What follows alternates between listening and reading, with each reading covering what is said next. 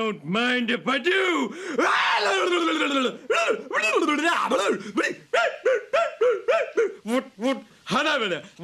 Hello everyone and welcome to Action RPG. I'm your host Aaron and for today's video we're headed to the world of Last Epoch once again. And what do I have for you today? Mike, one of the senior developers at 11th Hour Games held his normal Friday Q&A live stream on Twitch, which means I get to bring you Dev Chat 126. And I'm happy to say that we are now getting Cycle 2 teasers again on the Friday dev stream. So I've got something to show you today. And we're going to start off Dev Chat 126 with Mike talking about Bazaar and search features.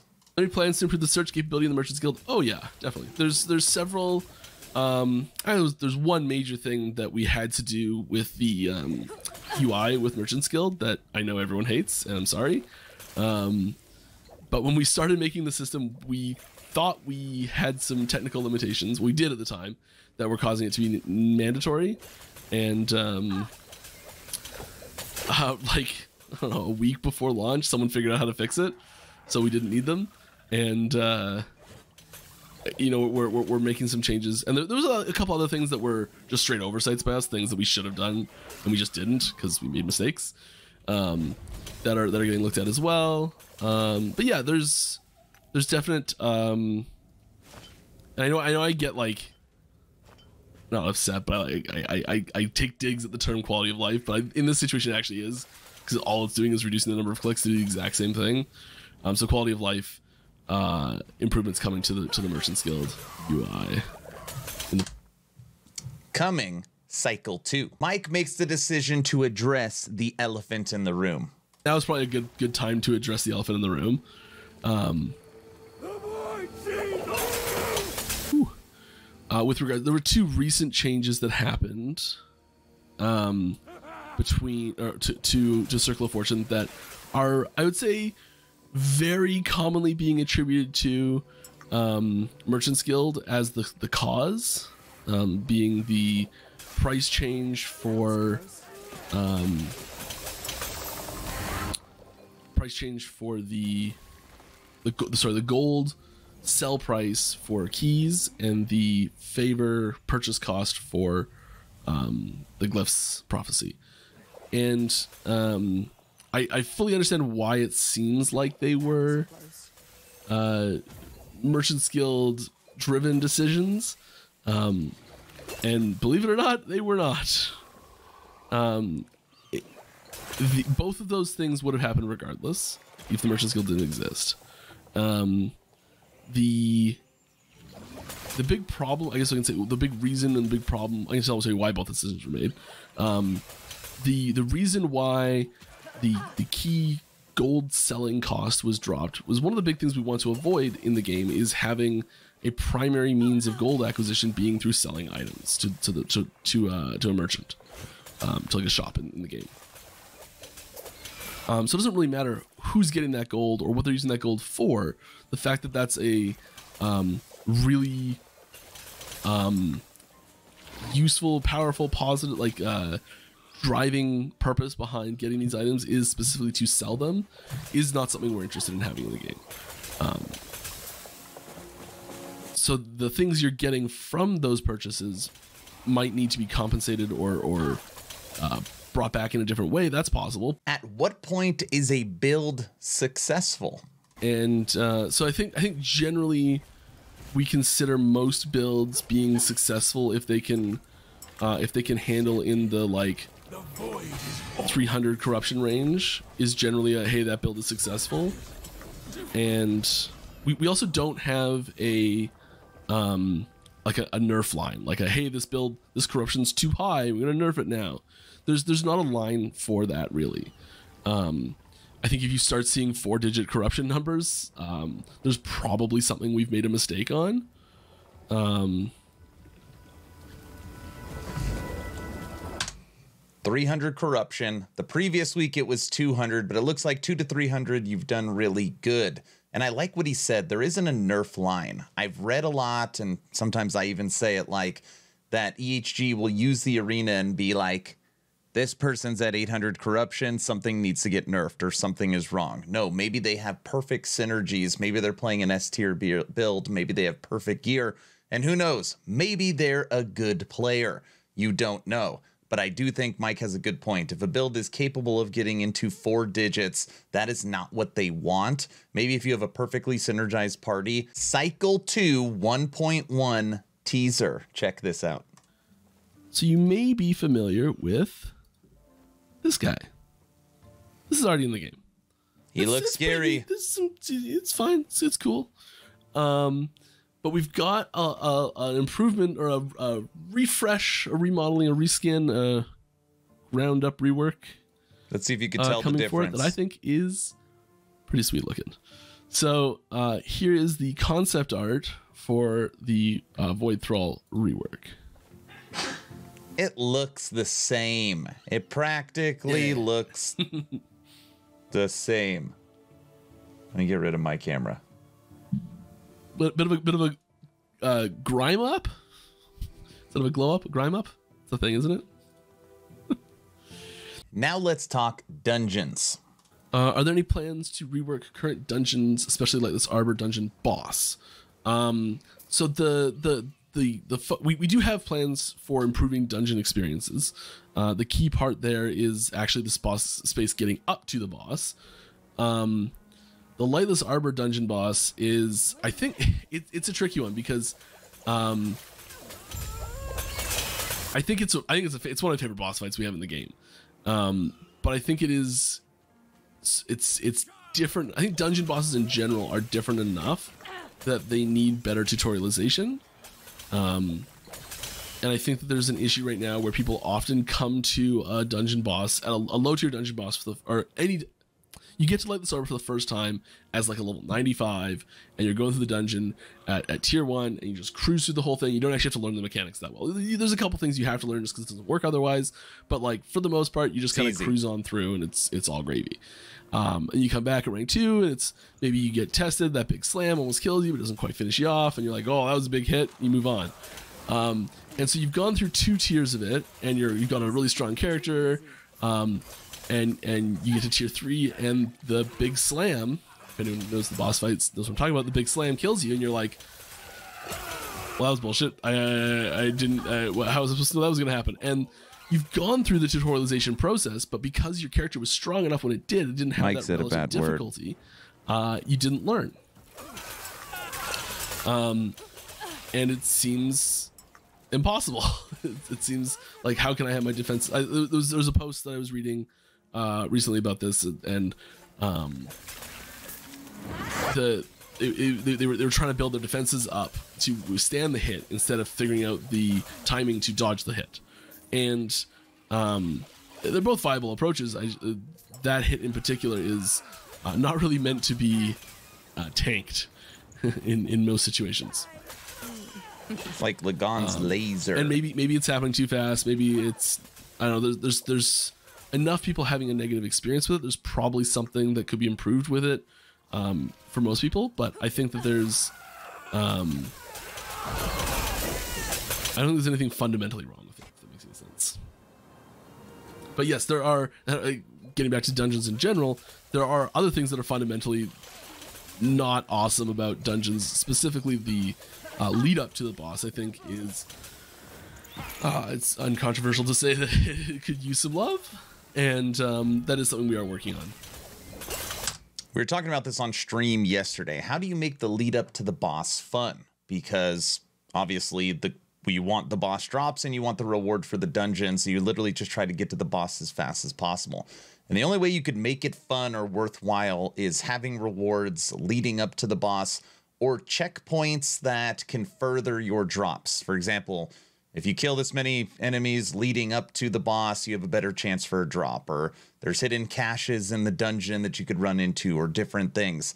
Like they would really have to do a lot of work to make that more fun. And later on the stream, Mike talks about how Judd, I don't know if it was in a forum post or something, mentioned about removing walls in the temporal sanctum, and that has now been reeled back. So right now they do not plan on removing walls in that dungeon. 1.1 gonna be bonkers. Any play any pinnacle boss near future 1.1, it's coming. 1.1 will have our first proper pinnacle boss in it, um, an assistant to go with it.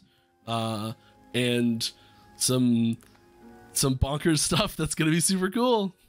I just I've been making um just made some new tech for uh, more dynamic environmental hazards in boss arenas yesterday.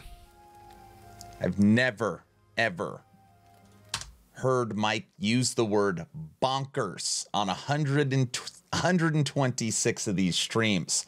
Also, just so you're aware, later on in the stream, Mike talks about how there are multiple bosses that are new coming, but only one pinnacle. When I think about that, you, you think about um, maybe there's a couple like guards or smaller bosses you got to beat to get the things to actually unlock the pinnacle boss. Kind of think of um, Emperor of Corpses, right? You got to kill the three lightning dragons to get to the next one. I'm guessing it'll be something like that. Now, for some bad news. Uh, is entirely new skills planned to be added for upcoming 1.1 patch cycle one, um, cycle two. Uh, I, I I don't think that there's much in the way of the skills pipeline happening this patch.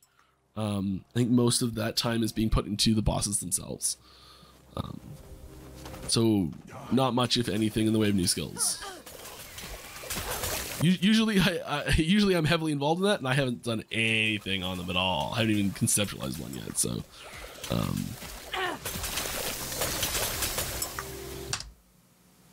Next cycle, no new skills. I get asked this question a lot, and I want you to hear it from EHG Mike. all right. Any plans for a crafting system based around idols? Yes. Can you tell me more about that? No. Um, They do have a plan to allow us to craft idols. They have not said anything other than there's a plan for it. My guess dungeon reward. It appears Cycle 2 is also going to Legacy. All right. Will certain cycle features be added to the base game after a cycle is over? Um, if it were well well received. Well, initially, um, 1.1 will come immediately to the base game, so it'll happen uh, before the cycle is over. Um, but yeah, that's the plan. We do design any cycle content to uh, to, to, to be included in uh, the base game as well. We we we're, we're, we're the game's not big enough yet uh, where we can afford to. Um, I mean, the game both in the sense of like the company and in the sense of the the game content itself. We don't have room to uh, create content that will only be in the game for a few months. I feel like we'll have that as an option down the road, but right now it's got to go in the game and stay in the game. There you have it. All right, everyone, we have come to the final question for Dev Chat 126, and I'm allowing Mike to take out the stream drawing pictures. Mike, as always, thank you for continuing these Friday live streams. The community truly appreciates it. Always so informative. You're a great guy. Two asks at the end of the video. Ask number one I'm hoping today is the day I have earned your subscription. I'm hoping today is the day you make the decision to push that little red button. I would really appreciate it, but of course, only if you think I've earned it. And if I haven't earned it, I'm going to work harder for you. Ask number two, check out my Patreon. Thank you to the first 131 members that have signed up. It is the best way to support the channel into the future. You get access to movie night and game night and the VIP lounge and access to stream audio and video. Best place to support, first link in the description. I'm out of here. Mike, show off those drawing skills.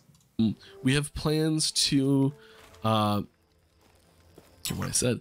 The big issue with corruption, scaling, and stability farming on alts is that you can end up in a situation it's really hard to predict what difficulty you're gonna need. So like if if you're like I, I don't know if this is a good thing to graph, but like let's let's say let's say you've got your um your your your difficulty. This is difficulty as you go up, and this is time as we go this way, and and you've got this like um your character your character's power. This is like the difficulty the character can handle, right as you're going, and um I think a lot of people get st- right now uh get stuck sort of uh going going along this line here um, where you are where it's the game is always a little bit easier. You're, you're like your character's here and your alt and and the difficulty of the game you're playing is actually here. And you're like I, I but i want i want this difficulty now but i can't i'm the only stuff i have access to is too low. Like i can't do stuff that's hard enough right? Um and that's frustrating. And then um you can also have i kind of did this graph bad it should, it should look more like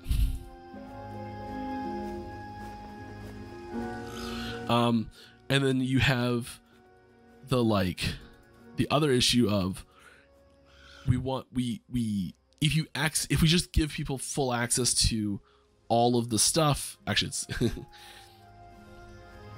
oh no. Can i undo? Nope. Can't undo. We're ruining everything. I, I got a better way to draw this though. Here we go.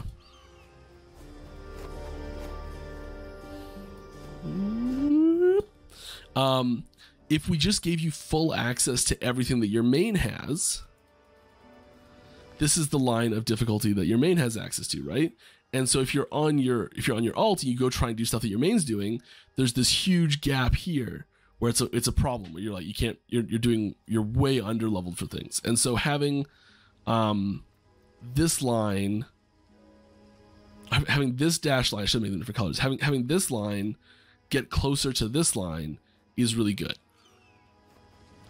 Um, as long as this line also goes up with it. Making any sense here at all, just gibberish. And and so so right now what we're we're trying to do is raise this line up so it just matches this better um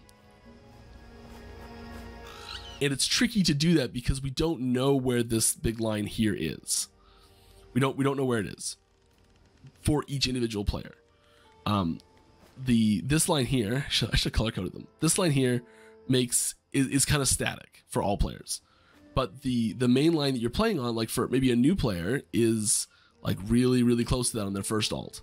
But a super experienced player is more like this. And so there's it's the distance between these two lines. I got it. It's the distance between these two lines that's the problem that we have to account for. And we have to do better at allowing the people that are playing on this line here to bring that dotted line up to match it. Um I know it was a big mess uh, and wasn't very well thought out. I should have thought that out before drawing it all. But I hope I hope we, that kind of sheds light on what we're trying to do um, to, with it, and we do have some plans to accomplish that. Um, but it is not simply just um, open up everything right away. This is kind of the same things we were talking before. It's it's not just um, allowing that corruption to be shared fully.